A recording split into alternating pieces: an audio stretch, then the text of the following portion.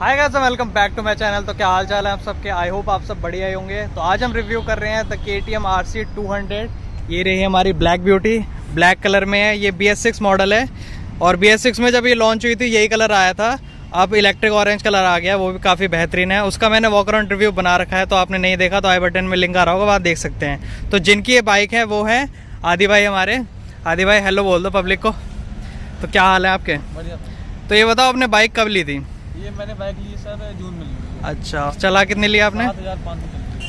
काफ़ी चला ली इतने कम दिनों में। तो इनके साथ कभी ओनरशिप रिव्यू भी लेंगे। बाकी अभी बाइक चला के देखते हैं। इसका मैं आपको ओवरऑल बता दूँ क्या क्या मिलता है इसमें। आपको फ्रंट में आपको 17 इंच के अलावा मिलते हैं पीछे भी सेम जो आर सी एक सौ पच्चीस में या जो भी कोई बाइक है के टी एम की सेम यही टायर आते हैं। फ्रंट में आपको 300 हंड्रेड एम एम के डिस्क मिल जाएँगे पीछे 230 थर्टी एम एम के। और इसमें आपको डोल चैनल एबीएस आता है। इंस्ट्रूमेंट क्लस्टर आपको वही बेसिक सा आता है। मैंने कई बार दिखा रखा है, आपने देखा ही है। सब में यही आता है आर सी थ्री में भी यही आता है। बाकी क्वालिटी काफ़ी बढ़िया है ब्लैक कलर ये बहुत बढ़िया लग रहा है। अब जो है मेन चीज़, अब इसे चला के देखते हैं। तो सबसे पहले मैं बात करना चाहूँगा, यहाँ पे जो हमें दिख रहा है, वो है इसका डैशबोर्ड इसका डैशबोर्ड सिमिलर ही है, हर एक K T M R C. Bike से तो 125 देख लो 200 देख लो या 390 देख लो, सब में आपको ऐसे इंस्ट्रूमेंट क्लस्टर आपको सब में सेम मिलता है, वही बेसिक सा स्विचेस क्वालिटी सब सेम है, बढ़िया क्वालिटी का है। यहाँ पे आपको क्लिप ऑन हैंडल बार मिलता है, काफ़ी बढ़िया। बहुत ही अग्रेसिव इसकी सीटिंग पोजीशन है। इंजन इसमें आपको 199.5 सीसी का मिलता है सिंगल सिलेंडर लिक्विड कूल जो कि पावर प्रोड्यूस करता है। 24.6 bhp and 19.1 N of torque performance इस इंजन से काफ़ी बढ़िया है।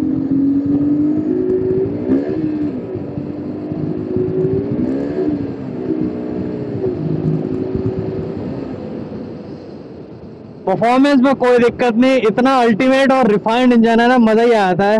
और इसकी एग्जॉस्ट की साउंड यार बहुत ही बढ़िया। इसमें अगर माइलेज की बात करूँ, देखो यहाँ पे तो माइलेज दिखा रहा है थर्टी के एम का बट मुझे नहीं लगता इतना मिलता होगा, क्योंकि जितना शो करता है, उतना तो पॉसिबल है नहीं। 200 मान लीजिए 25 के एम का ही माइलेज दे पाती होगी सिटी कंडीशन में, और काफ़ी अच्छे चलाओगे, तब जाके थर्टी के एम का बहुत मुश्किल से आपको मिलता होगा। अब सस्पेंशन की बात करूँ तो इसमें आपको बहुत ही स्टिफ सस्पेंशन मिलता है, बिल्कुल ट्रैक ओरिएंटेड है। सो आपको जो कॉर्नर से मज़ा आने वाला है भाई नेक्स्ट लेवल है। फ्रंट में आपको टेलीस्कोप भी मिलते हैं, पीछे आपको मोनोशॉक सस्पेंशन मिलते हैं। एडजस्टेबल है पीछे वाले मतलब रोड से चिपक के चलती है तो जो चलाने में जो कॉन्फिडेंस आता है, वो नेक्स्ट लेवल ही होता है। और कॉर्नर्स पे जितनी आप लीन करना चाहो, आप कर सकते हो। बहुत ही बढ़िया लगता है। जैसे हम बम्प्स पे भी जाएँगे तो बिल्कुल भी कंफर्टेबल ये नहीं होगा। बम्प्स पे बहुत ही ज़्यादा दिक्कत होती है। खैर ये तो नॉर्मल बम थे तो कोई दिक्कत नहीं है। बट वैसे अगर कोई भी पॉट होल आ जाए तो आपको आपके बम्प्स में बहुत दिक्कत होने वाली है। सिटिंग पोस्चर की बात करूँ तो सिटिंग पोस्चर काफ़ी अग्रेसिव है। आपको बिल्कुल आगे लीन होकर बाइक चलानी होती है। इसका हैंडल बार भी काफ़ी नीचे है जो, जो सीट है इसकी कुशनिंग बहुत ही हार्ड है। लॉन्ग रूट्स पे काफ़ी अनकंफर्टेबल हो जाता है। ऑब्वियसली आपने ये वाली बाइक ली है तो कंफर्ट के लिए तो मुझे नहीं लगता आपने ली होगी। और यहीं पे मैं कंपेयर करूँ, इसके कंपटीशन की सीट से वो है आर वन फाइव उसकी उसकी सीट की कुछ नहीं, काफ़ी ज़्यादा और काफ़ी कंफर्टेबल सीट है उसकी। जो इसकी बॉडी है ना, इसमें जैसे स्टील ट्रायल्स फ्रेम आता है, वो बहुत ही मतलब ऐसे बाइक को ऐसे बाँध के रखती है, वो मुझे बहुत पसंद है के की बाइक्स में।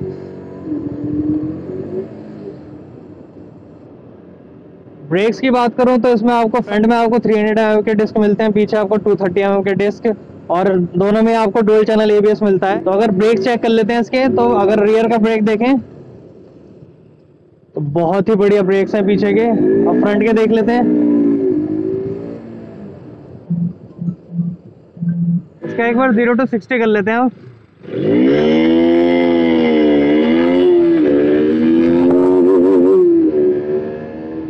बहुत ही क्विक भाई, बहुत ही क्विक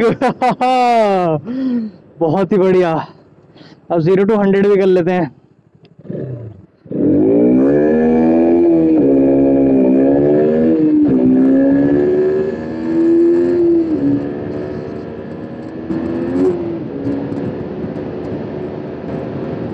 हंड्रेड ओहो वेरी क्विक वेरी क्विक मज़ेदार। मज़ा ही आ गया, मज़ा ही आ गया भाई साहब अल्टीमेट बट इसमें वाइब्रेशन यार बहुत ज़्यादा है। फ्रंट में भी थोड़ी वाइब्रेशन है आप, यहाँ पे आपके थाइस पे भी वाइब्रेशन फील हो रही है।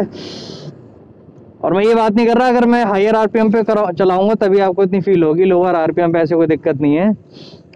तो यह ऑल इन ऑल बाइक बहुत ही बढ़िया है। प्राइस इसकी बात करो तो आपको टू लैख फोर्टी थाउज़ेंड मिल जाएगी ऑन रोड बाकी बाइक बहुत ही बेहतरीन है।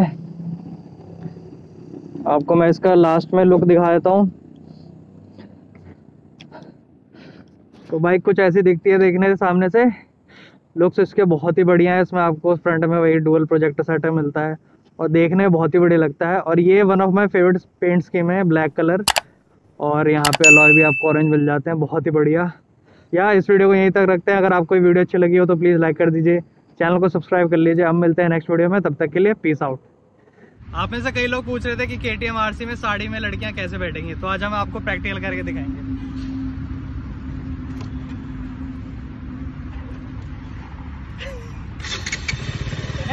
चलो चलो चलो।